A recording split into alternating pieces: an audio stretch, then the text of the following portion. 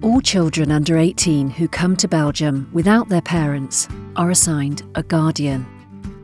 In this video we'll explain what will a guardian do for you? In Belgium there are some things you can't do without your parents. That's why you need a guardian.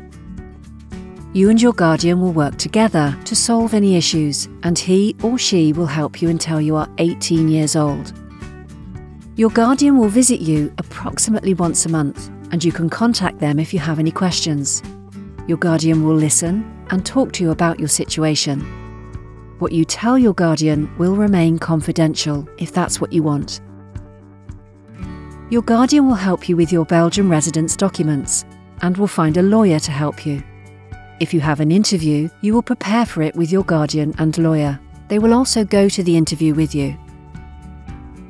In Belgium, you have to go to school your guardian will help you to find a good school.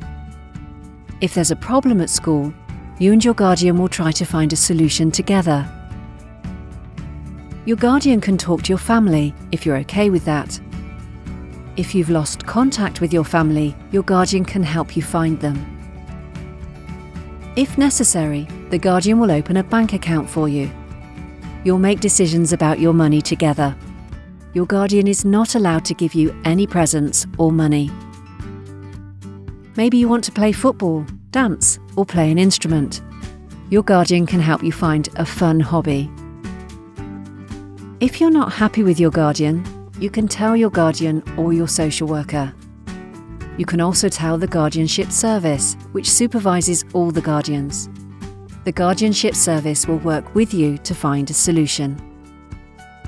Do you have any questions or do you want to talk about your guardian? This is how you can contact the Guardianship Service